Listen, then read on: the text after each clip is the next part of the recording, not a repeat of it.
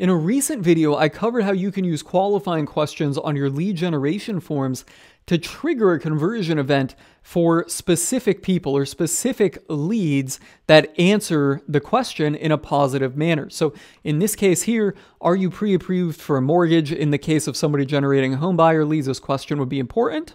Uh, and a positive yes would probably be a more serious lead. And we want to send that back to Facebook for the people that answer yes so subsequently, Facebook algorithm gets us more people that answer yes or people like that, right? And we do this by sending them to a separate thank you page. What I'm going to do is cover how to set this up in WordPress using WP Forms. So for this, you're going to need WP Forms. You're going to need the paid plugin. Uh, you're going to need the 3951 that starts out right here and has conditional logic and multi-page forms. So Go ahead and get that. Look for my affiliate link below if you appreciate me making this video and sharing this insight with you guys. Now, here is my WP form set up on a WordPress site. And here's a question again. This is all kind of coming from the basis of someone looking to generate home buyer leads. Uh, you're going to need to come up with your own questions based on your own industry and market. But what area are you looking to buy in?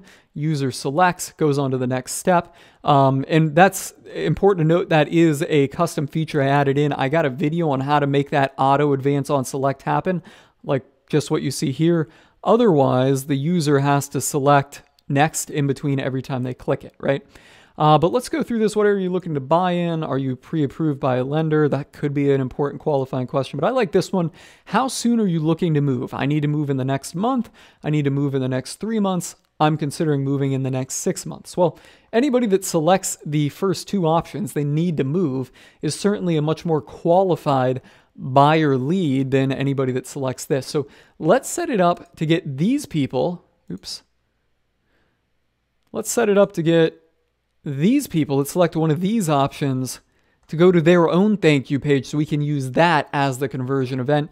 Here's how we do it in WP Forms. We're going to go into WP Forms, select the form we want, and select Edit.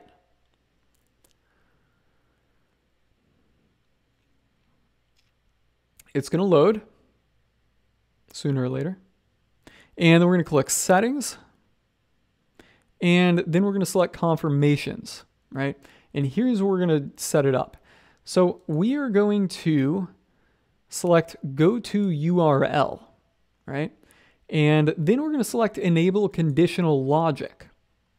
And we're going to use this confirmation if, and you can select your question, uh, how soon are you looking to move? Is, I need to move in the next month, or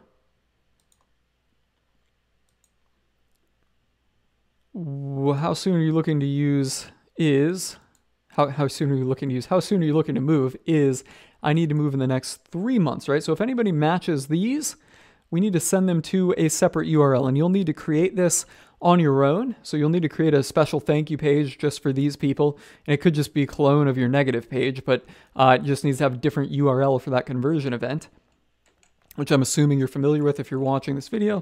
So let's just say HTTP uh, my demosite.com slash positive thank you. Right, so everybody that answers this question positively goes to this page. And we will add a new confirmation, and I'm just going to call this one positive